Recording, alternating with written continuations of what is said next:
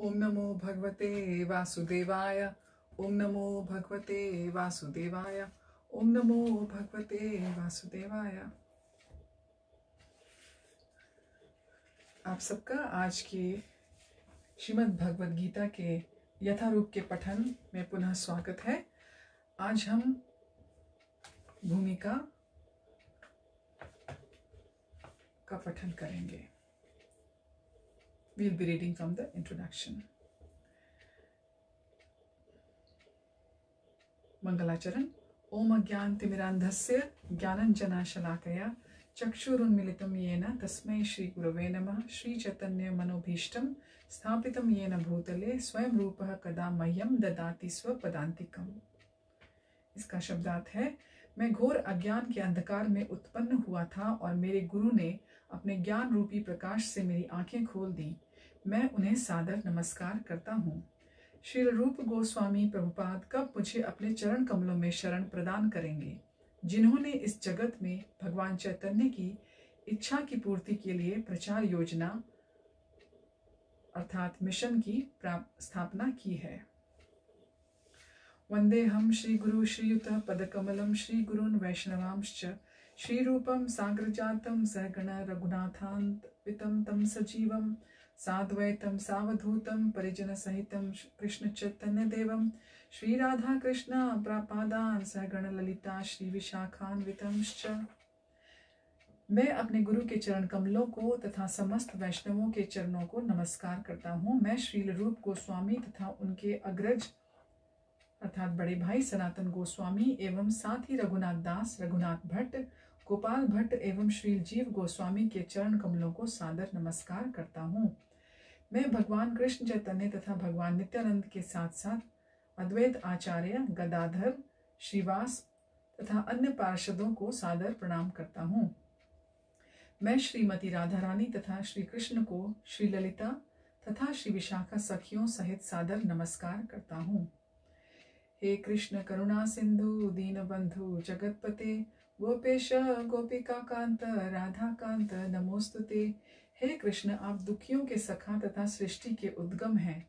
आप गोपियों के स्वामी तथा राधा रानी के प्रेमी हैं। मैं आपको सादर प्रणाम करता हूँ।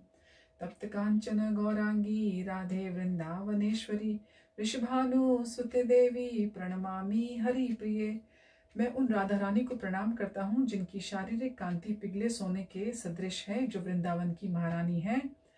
आप राजा वृषभानु की पुत्री हैं और भगवान कृष्ण को अत्यंत प्रिय हैं। वाञ्छाकल्पतरुभ्यश्च कृपा च पतितनां पावनेभ्यो, वैष्णवेभ्यो, नमो नमः। मैं भगवान के समस्त वैष्णव भक्तों को सादर प्रणाम, नमस्कार करता हूँ, प्रणाम करता हूँ।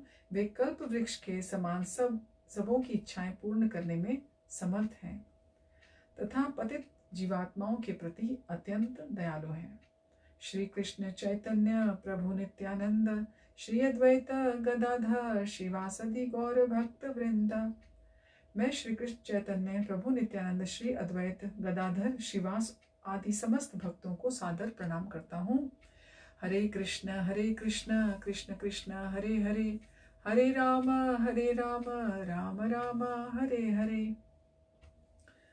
तो भूमिका के सर्वप्रथम ये सब प्रार्थनाएँ लिखी हैं और ये प्रार्थनाएँ हम हमेशा सुबह की भागवतम क्लास के प्रारंभ में और भगवत गीता जो शाम को क्लासेस होती हैं मंदिर में में बोलते हैं और वैसे भी जब भी हम कोई भी भगवान का आपस में इष्ट गोष्ठी करते हैं, कोई क्लास करते हैं फैमिली के साथ या अपने अपने सह जो है डिवोटीज़ हैं, उनके साथ मिलके, अन्य भक्तगणों के साथ जब कोई भी ऐसी गोष्ठी करते हैं, बैठ के कुछ चिंतन मनन करते हैं तो इन सब प्रार्थनाओं को हम पहले ज़रूर इनका उच्चारण करते हैं। इनका अवश्य उच्चारण करते हैं। अगर मेरी हिंदी में कोई त्रुटि रह गई जाए रह जाए तो प्लीज़ इसको क्षमा कीजिएगा। मैं कोशिश कर रही हूँ कि धीरे धीरे ऐसे बोलते बोलते मेरी हिंदी अच्छी हो जाएगी। भगवत गीता को गीतोपनिषद भी कहा जाता है। यह वैदिक ज्ञान का सार है और वैदिक साहित्य का सर्वाधिक महत्वपूर्ण उपनिषद है। निस्संदेह भगवत गीता पर अंग्रेज़ी भाषा में अनेक भाष्य प्राप्त हैं। अतएव एक अन्य भाष्य की आवश्यकता के बारे में प्रश्न किया जा सकता है। इस प्रस्तुत संस्करण का प्रयोजन इस प्रकार बताया जा सकता है। हाल ही में एक अमरीकी महिला ने मुझसे भगवत गीता के अंग्रेज़ी अनुवाद की संस्तुति चाही। निसंदेह अमेरिका में भगवत गीता के अनेक अंग्रेज़ी संस्करण उपलब्ध हैं, लेकिन जहाँ तक मैंने देखा है, केवल अमेरिका ही नहीं, अपितु भारत में भी उनमें से कोई पूर्ण रूप से प्रामाणिक संस्करण नहीं मिलेगा। क्योंकि लगभग हर एक संस्करण में भाष्यकार ने भगवत गीता, यथारूप के मर्म का स्पर्श किए बिना अपने मतों को व्यक्त किया है। तो ये सब जो भूमिका है, ये शिला प्रभुपाद द्वारा लिखी गई है। भगवत गीता का मर्म भगवत गीता में ही व्यक्त है। यह इस प्रकार है। यदि हमें किसी औषधि विशेष का सेवन करना हो तो उस पर लिखे निर्देशों का पालन करना होता है। हम मनमाने ढंग से या मित्र की सलाह से औषधि नहीं ले सकते। इसका सेवन लिखे हुए निर्देशों के अनुसार या चिकित्सा, चिकित्सक के निर्देशानुसार करना होता है। इसी प्रकार भगवत गीता को उसके वक्ता वक्ता द्वारा दिए गए निर्देशानुसार ही ग्रहण या स्वीकार करना चाहिए। भगवत गीता के वक्ता भगवान श्री कृष्ण है। भगवत गीता के प्रत्येक पृष्ठ पर उनका उल्लेख भगवान के रूप में हुआ है। निस्संदेह भगवान शब्द कभी कभी किसी भी अत्यंत शक्तिशाली व्यक्ति या किसी शक्तिशाली देवता के लिए प्रयुक्त होता है। और यहाँ पर भगवान शब्द निश्चित रूप से भगवान श्री कृष्ण को एक महान व्यक्तित्व वाला बताता है। किंतु साथ ही हमें यह भी जानना होगा कि भगवान श्री कृष्ण पूर्ण पुरुषोत्तम भगवान हैं। जैसा कि शंकराचार्य, रामानुजाचार्य मध्वाचार्य निम्बार्क स्वामी, श्री चैतन्य महाप्रभु तथा भारत के वैदिक ज्ञान के अन्य विद्वान आचार्यों ने पुष्टि की है। भगवान ने भी स्वयं भगवत गीता में अपने को परम पुरुषोत्तम भगवान कहा है और ब्रह्म संहिता में तथा अन्य पुराणों में विशेषतया श्रीमद् भागवतम में जो भागवत पुराण के नाम से विख्यात है, वे इसी रूप में स्वीकार किए गए हैं। कृष्णस्तु, भगवान स्वयं। अतएव भगवत गीता हमें भगवान ने जैसी बताई है, वैसे ही स्वीकार करनी चाहिए। भगवत गीता के चतुर्थ अध्याय में पहले से तीसरे श्लोक में भगवान कहते हैं, इमं विवस्वते योगम प्रोक्त वाहन वानहम व्ययम विवस्वमानवे प्राह मनुरिक्ष्वा के अब्रवीत। एवं परंपरा प्राप्तिम प्राप्तिमं राजर्ष्यो विदुः, स कालेनेह महता योगो नष्टः परन्तप। स एवायं मया तेद्य योग प्रोक्त पुरातन भक्तोसी में सखा चेती रहस्यम योत्तम यहाँ पर भगवान अर्जुन को सूचित करते हैं कि भगवत गीता की यह योग पद्धति सर्वप्रथम सूर्यदेव को बताई गई थी। सूर्यदेव ने इसे मनु को बताया और मनु ने इसे इक्ष्वाकु को बताया। इस प्रकार गुरु परंपरा द्वारा यह योग पद्धति एक वक्ता ने दूसरे वक्ता तक, एक वक्ता से दूसरे वक्ता तक पहुँचती रही, लेकिन कालांतर में यह छिन्न भिन्न हो गई। फलस्वरूप भगवान को इसे फिर से बताना पड़ रहा है। इस बार अर्जुन को कुरुक्षेत्र के युद्ध स्थल में। और हम सबको मालूम है, यह महाभारत की बात हो रही यहाँ पर।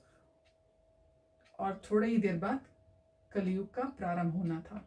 तो भगवान को मालूम था कि कलयुग में किस प्रकार के जीवा जन्म लेंगे, उनको किस प्रकार की दिशा निर्देश चाहिए, और भगवान को मालूम था। वे पुनः आएँगे इस कलयुग में, चैतन्य महाप्रभु के रूप में भी, और पुनः भागवतम हम सबको मिलेगी।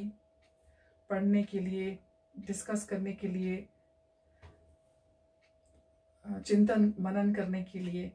तो भगवान ने कितने दयापूर्वक हम लोगों के लिए हम कलयुग कलयुग के जीवा जीवों के लिए हमारे आने से पहले उनको पता था कि ये युग कितना आ, सब युगों के के से आप जब उनकी इसकी तुलना करेंगे तो ये कितना कमज़ोर होगा। इसमें सिर्फ़ एक ट्रूथफुलनेस जिसको बोलते हैं, सच्चाई, बस वही एक धर्म का की की जो होगी उसको बोलते हैं लेग लेग जैसे एक टेबल की चार होते हैं पोस्ट होते हैं, जिसके ऊपर टेबल खड़ा होता है तो एक ही चीज़, एक ही टांग बचेगी, वो है सच्चाई। और हम लोगों को किस किस चीज़ की आवश्यकता है, वो समझाने के लिए भगवान ने बहुत ही कृपा करके अर्जुन को, अर्जुन जो कि सर्व गुण संपन्न थे, फिर भी निमित्त, वो निमित्त बने और वो इंस्ट्रूमेंट बने और सारी भगवत गीता हम लोगों के लिए भगवान ने अर्जुन के माध्यम से कही। अर्जुन ने सारे प्रश्न किए और भगवान ने सारे प्रश्नों के उत्तर दिए और ये सब हमारे जीवन को कैसे चलाना है, उसके लिए ये एक तरह की हमारे लिए मैनुअल है। जैसे हम कोई चीज़ खरीदते हैं तो हमको एक किताब मिलती है, उस, उसमें सब लिखा होता है कि डूज एंड डोंट्स, क्या करना है, क्या नहीं करना है, इस वस्तु के उपयोग के लिए। उसी प्रकार ये भगवत गीता हम सब के लिए भगवान कृष्ण ने कुरुक्षेत्र में अर्जुन को महाभारत के युद्ध के प्रारंभ में कही। वे अर्जुन से कहते हैं कि मैं तुम्हें यह परम रहस्य इसलिए प्रदान कर रहा हूँ क्योंकि तुम मेरे भक्त तथा मित्र हो। इसका तात्पर्य यह है कि भगवत गीता ऐसा ग्रंथ है जो विशेष रूप से भग, भगवत भक्त के लिए है। भगवत भक्त के लिए निमित्त है अध्यात्मवादियों की तीन श्रेणियाँ हैं ज्ञानी योगी तथा भक्त या कि निर्विशेषवादी ध्यानी और भक्त। यहाँ पर भगवान अर्जुन से स्पष्ट कहते हैं कि उसे इस नवीन परंपरा, गुरु परंपरा का प्रथम पात्र बना रहे हैं, क्योंकि प्राचीन परंपरा खंडित हो गई है। अतः यह भगवान की इच्छा थी कि सूर्य देव से चली आ रही विचारधारा की दिशा में ही अन्य परंपरा स्थापित की जाए, और उनकी यह इच्छा थी कि उनकी शिक्षा का वितरण अर्जुन द्वारा नए सिरे से हो। वे चाहते थे कि अर्जुन भगवत गीता, ज्ञान का प्रामाणिक विद्वान बने अतएव हम देखते हैं कि भगवत गीता का उपदेश अर्जुन को विशेष रूप से दिया गया, क्योंकि अर्जुन भगवान का भक्त, प्रत्यक्ष शिष्य तथा घनिष्ठ मित्र था। अतएव जिस व्यक्ति में अर्जुन जैसे गुण पाए जाते हैं, वह भगवत गीता को सबसे अच्छी तरह समझ सकता है। कहने का तात्पर्य यह है कि भक्त को भगवान से प्रत्यक्ष रूप से संबंधित होना चाहिए। ज्यों ही कोई भगवान का भक्त बन जाता है, त्यों ही उसका सीधा भगवान से संबंध हो जाता है। यह एक अत्यंत विशद विषय है, लेकिन संक्षेप में यह बताया जा सकता है कि भक्त तथा भगवान के मध्य पाँच प्रकार का संबंध हो सकता है। पहला संबंध कोई निष्क्रिय अवस्था में भक्त हो सकता है, दूसरा कोई सक्रिय अवस्था में भक्त हो सकता है, तीसरा कोई सभा सॉरी सखा रूप में भक्त हो सकता है चौथा, कोई माता या पिता के रूप में भक्त हो सकता है और पांचवा, कोई दंपति प्रेमी के रूप में भक्त हो सकता है। और साथ साथ हम ये भी बोलना चाहते हैं कि अर्जुन कृष्ण कृष्णा अर्जुन के ममेरे भाई भी थे।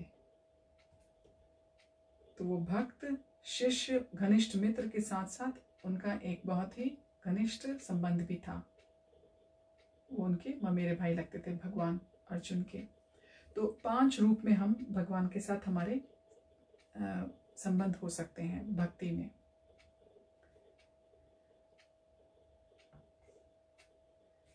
अर्जुन का कृष्ण निसंदेह इस मित्रता सात जगत में पाई जाने वाली मित्रता में आकाश पाताल का अंतर है। यह दिव्य मित्रता है, जो हर किसी को प्राप्त नहीं हो सकती।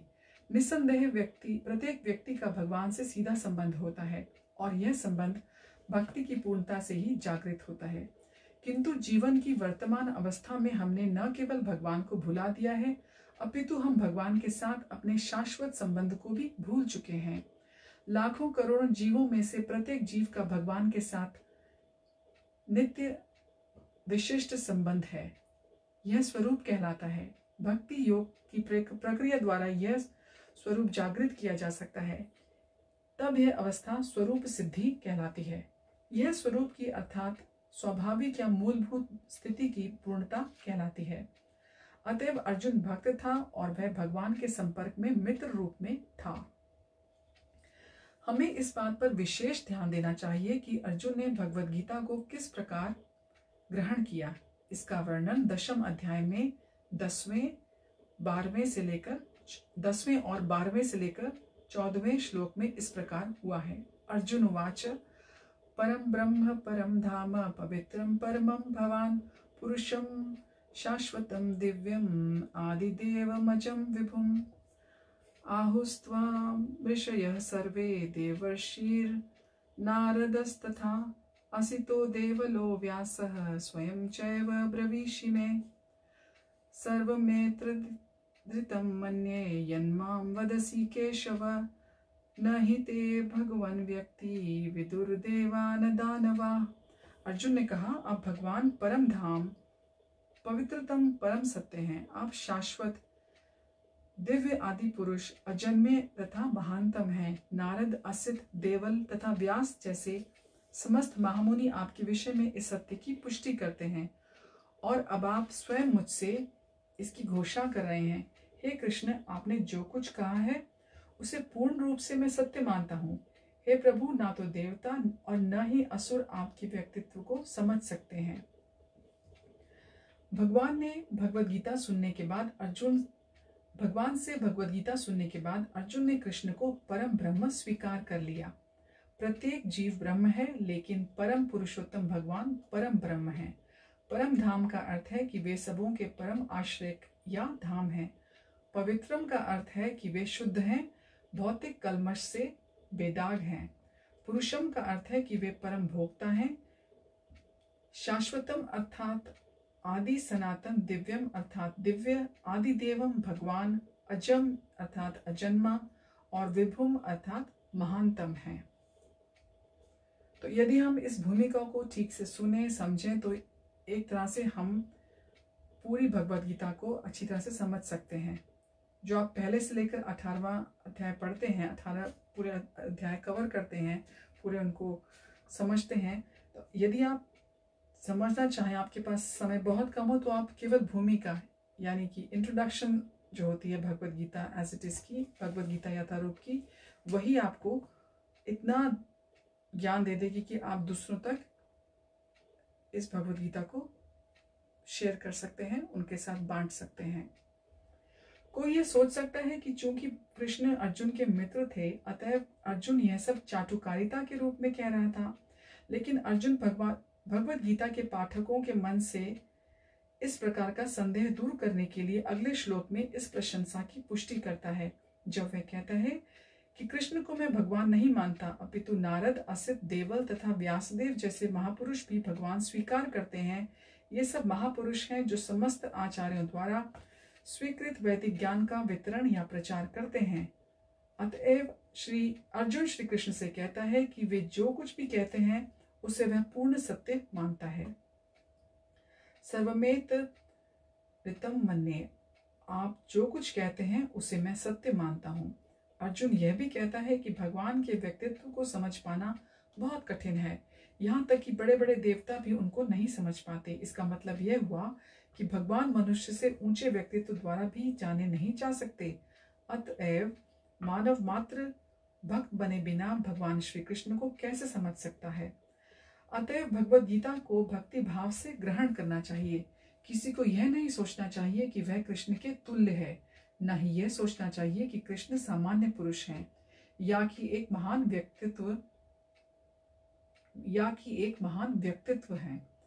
भगवान श्री कृष्ण साक्षात पुरुषोत्तम भगवान हैं अतः भगवत गीता के कथन अनुसार या भगवत गीता को समझने का प्रयत्न करने वाले अर्जुन के कथन अनुसार हमें सिद्धांत रूप में कम से कम इतना तो स्वीकार कर लेना चाहिए कि श्री कृष्ण भगवान हैं और उसी विनीत भाव से हम भगवत गीता को समझ सकते हैं।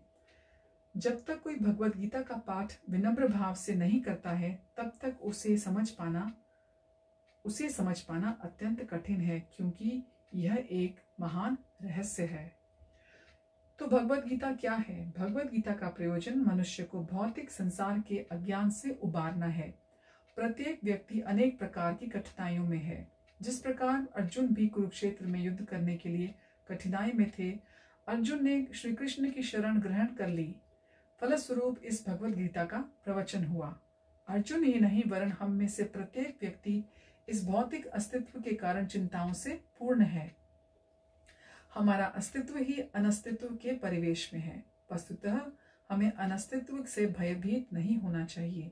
हमारा अस्तित्व सनातन है इटर्नल है। लेकिन हम किसी न किसी कारण से असत में डाल दिए गए हैं। असत का अर्थ उससे है जिसका अस्तित्व नहीं है। कष्ट भोगने वाले अनेक मनुष्यों में केवल कुछ ही ऐसे हैं जो वास्तव में यह जानने के जिज्ञासु हैं कि वे क्या हैं। वे इस विषम स्थिति में क्यों डाल दिए गए हैं? आदि आदि। जब तक मनुष्य को अपने कष्टों के विषय में जिज्ञासा नहीं होती, जब तक उसे यह अनुभूति नहीं होती कि वह कष्ट भोग, भोगता नहीं, अपितु सारे कष्टों का हल ढूंढना चाहता है, तब तक उसे सिद्ध मानव को, मानव नहीं समझना चाहिए। मानवता तभी शुरू होती है जब मन में इस प्रकार की जिज्ञासा उदित होती है। ब्रह्म सूत्र में इस जिज्ञासा को ब्रह्म जिज्ञासा कहा गया है, अर्थात तो ब्रह्म जिज्ञासा। मनुष्य के सारे कार्यकलाप असफल माने जाने चाहिए, यदि वह पर ब्रह्म के रह, स्वभाव के विषय में जिज्ञासा न करे। अतएव जो लोग यह प्रश्न करना प्रारंभ कर देते हैं कि वे क्यों कष्ट उठा रहे हैं, या वे कहाँ से आए हैं और मृत्यु के बाद कहाँ जाएँगे, वे ही भगवत गीता को समझने के सुपात्र विद्यार्थी हैं। निष्ठावान विद्यार्थी ही भगवान के प्रति आदर के प्रति निष्ठावान विद्यार्थी में भगवान के प्रति आदर भाव भी होना चाहिए। अर्जुन ऐसा विद्यार्थी था। जब मनुष्य जीवन के वास्तविक प्रयोजन को भूल जाता है तो भगवान कृष्ण विशेष रूप से उसी उद्देश्य की पुनर्स्थापना के लिए अवतार लेते हैं। तब भी असंख्य जागृत हुए लोगों में से कोई एक होता है जो वास्तव में अपनी स्थिति को जान पाता है, और यह भगवत गीता उसी के लिए कही गई है। वस्तुतः हम सभी अविद्या रूपी बाघिन के द्वारा निगल लिए गए हैं, लेकिन भगवान जीवों पर विशेषतया मनुष्यों पर कृपालु हैं। इसी उद्देश्य से उन्होंने अपने मित्र अर्जुन को अपना शिष्य बनाकर भगवत गीता का प्रवचन किया। भगवान कृष्ण का पार्षद होने के कारण अर्जुन समस्त अज्ञान अर्थात अविद्या से मुक्त था। लेकिन कुरुक्षेत्र के युद्ध स्थल में उसे अज्ञान में डाल दिया गया, ताकि वह भगवान कृष्ण से जीवन की समस्याओं के विषय में प्रश्न करे, जिससे भगवान उसकी व्याख्या भावी पीढ़ियों के लिए मनुष्य, के मनुष्यों के लिए लाभ के लिए कर दें और जीवन की योजना का निर्धारण कर दें। तब मनुष्य तद तदनुसार कार्य कर पाएगा और मानव जीवन के उद्देश्य को पूर्ण कर सकेगा। भगवत गीता की विषय वस्तु में पाँच मूल सत्यों का विज्ञान निहित है। सर्वप्रथम सर्वप्रथम ईश्वर के विज्ञान की और फिर जीवों के स्वरूप स्थिति की विवेचना की गई है। ईश्वर है, जिसका अर्थ अर्थ नियंता है और जीव का अर्थ है नियंत्रित। ईश्वर कंट्रोलर है और जीव, यानी कि हम लोग कंडीशन सोल हम लोग कंट्रोल्ड हैं। यदि जीव यह कहे कि वह नियंत्रित नहीं, अपितु स्वतंत्र है तो वह पागल है। जीव सभी प्रकार से कम से कम बद्ध जीवन में तो नियंत्रित है। कंडीशन लाइफ में हम लोग सब बंधे हुए हैं। अतएव भगवत गीता की विषय वस्तु ईश्वर, सर्वोच्च नियंता तथा जीव नियंत्रित जीवात्माएँ से संबंधित है। इसमें प्रकृति, यानी कि भौतिक प्रकृति, काल, समस्त ब्रह्मांड की कालावधि या प्रकृति का प्राकट्य और कर्म, यानी कि कार्यकलाप की भी व्याख्या है। यह दृश्य जगत विभिन्न कार्यकलापों से ओतप्रोत है। सारे जीव भिन्न भिन्न कार्यों में लगे हुए हैं। भगवत गीता से हमें अवश्य सीखना चाहिए कि ईश्वर क्या है, जीव क्या है, प्रकृति क्या है, दृश्य जगत क्या है। यह काल द्वारा किस प्रकार नियंत्रित किया जाता है और जीवों के कार्यकलाप क्या है? भगवत गीता के इन पाँच मूलभूत विषयों में से इसकी स्थापना की गई है कि भगवान अथवा कृष्ण तथा ब्रह्म या परमात्मा अथवा परम नियंता आप जो चाहे कह लें, सबसे श्रेष्ठ हैं। जीव गुण में परम नियंता के ही समान है। उदाहरणार्थ, जैसा कि भगवत गीता के विभिन्न अध्यायों में बताया जाएगा भगवान भौतिक प्रकृति के समस्त कार्यों के ऊपर नियंत्रण रखते हैं। भौतिक प्रकृति स्वतंत्र नहीं है। वह परमेश्वर के निर्देशन में कार्य करती है। जैसा कि भगवान कृष्ण कहते हैं मयाध्यक्षेण प्रकृति सूयते सचराचरम। भौतिक प्रकृति मेरे निर्देशन में कार्य करती है। जब हम दृश्य जगत में आश्चर्यजनक घटनाएँ घटते देखते हैं तो हमें यह जानना चाहिए कि इस दृश्य जगत जगत के पीछे एक नियंता है। बिना नियंत्रण के किसी भी, किसी का प्रकट होना संबंध, संभव नहीं। नियंता को न मानना बचपना है। उदाहरणार्थ, एक बालक सोच सकता है कि मोटर कार अद्भुत होती है, क्योंकि यह बिना घोड़े के या खींचने वाले पशु से चलती है। किंतु समझदार व्यक्ति मोटर कार की अभियंत्रिक व्यवस्था से परिचित होता है। वह सदैव जानता है कि इस यंत्र के पीछे एक व्यक्ति, एक चालक होता है। इसी प्रकार परमेश्वर वह चालक है जिसके निर्देशन में सब कार्य हो रहा है। भगवान ने जीवों को अपने अंश रूप में स्वीकार किया है, जैसा कि हम अगले अध्यायों में देखेंगे। सोने का एक कण भी सोना है। समुद्र के जल की एक बूंद भी खारी होती है। इसी प्रकार हम जीव भी परम नियंता, ईश्वर या भगवान श्री कृष्ण के अंश होने के कारण सूक्ष्म मात्रा में परमेश्वर के सभी गुणों से युक्त होते हैं। क्योंकि हम सूक्ष्म ईश्वर या अधीनस्थ ईश्वर हैं हम प्रकृति पर नियंत्रित नियंत्रण करने का प्रयास कर रहे हैं जैसे कि वर्तमान में हम अंतरिक्ष या ग्रहों को वश में करना चाहते हैं। और हम में नियंत्रण रखने की यह प्रवृत्ति इसलिए है क्योंकि यह कृष्ण में भी है। यद्यपि हमें भौतिक प्रकृति का प्रभुत्व जमाने की प्रवृत्ति होती है लेकिन हमें यह जानना चाहिए कि हम परम नियंता नहीं हैं। इसकी व्याख्या भगवत गीता में की गई है। सो so, आज हम अपनी अपने पठन को यही विराम करेंगे और इसके भूमिका के जो आगे की बचे हुए पृष्ठ हैं इनको अगली दफ़ा पढ़े पढ़ाया पढ़ेंगे।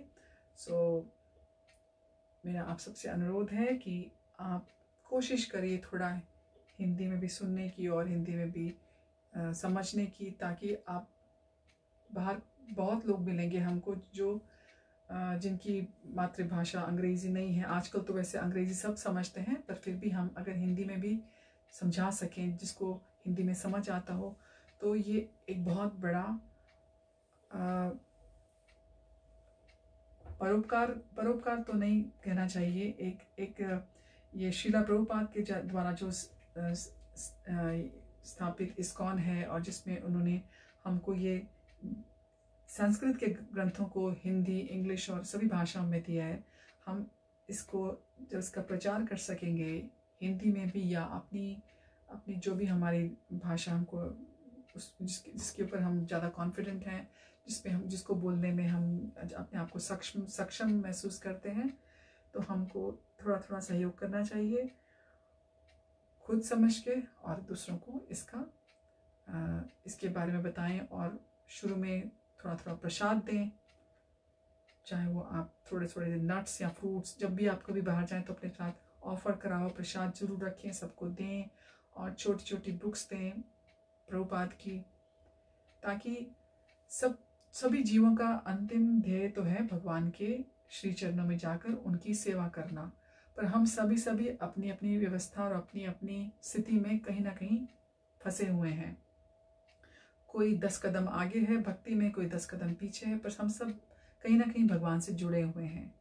तो हम सब सहयोग करें, भगवान भगवान चाहते हैं, भगवान इसीलिए हमारे लिए उन्होंने ये जगत बनाया है और भगवत गीता हमें दी है कि हमारी जो सोई हुई भक्ति है, हमारी आत्मा के अंदर सोई हुई भक्ति है, वह जागृत हो। हम लोग हरे कृष्णा महामंत्र का जाप करें, सुने। ग्रंथों को सुने, समझें और इनका आगे प्रचार करें। थोड़ा ही सही, लेकिन करें। ये हम सबको प्यूरिफाई करेगी और हम भगवान से पुनः जुड़ेंगे। हम जुड़े हुए हैं, हम भगवान के ही अंश हैं हम सभी, पर हम, हमारी आत्मा कहीं कहीं भूली हुई है। पर हम क्या ढूंढ रहे हैं? हम सबकी, हमारे मन में सेवा है। हम हम सब सेवा करना चाहते हैं। अगर हमको भगवान के विषय में नहीं पता था तो हम कभी अपनी हॉबीज़ की सेवा करते हैं, अपने बच्चों की सेवा करते हैं, अपने बड़ों की सेवा करते हैं। अपने घर में गृहस्थी में भी हम सब, सबको अपने सारे काम करने हैं, पर हमको सब कुछ भगवान के तरफ़ ही डवटेल करना है सब कुछ। हमको ये सोचना है कि ये परिवार भगवान का दिया हुआ है, ये रिश्ते भगवान के दिए हुए हैं, ये घर हमारा मंदिर है। इसको हमको, ये भगवान ने ही हमको दिया है, वो किस किस लिए दिया है कि हम अपने जीवन को पुनः उस अवस्था तक ला सकें जहाँ पर भगवान हमें चाहते हैं हमारी भक्ति प्रारंभ हो।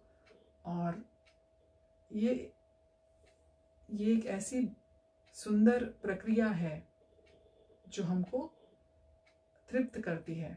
जैसे खाने से हमारे शरीर की तृप्ति होती है और ग्रंथों के पठन, मनन और प्रचार से हमारी आत्मा की तृप्ति होती है। तो आज आज हम अपनी पठन यहीं पे विराम करते हैं। नेक्स्ट टाइम अगली दफ़ा हम इसके आगे इसको कंटिन्यू करेंगे। ओके थैंक यू नितिका आप हमारे साथ जुड़े हैं आज। मैं हिंदी बोलने की कोशिश कर रही हूँ और अगर मेरे से कोई त्रुटि हो जाए तो प्लीज़ इसको आप क्षमा कीजिए। धन्यवाद जुड़ने के लिए साथ। हरिओम तत्सत। हरे कृष्णा।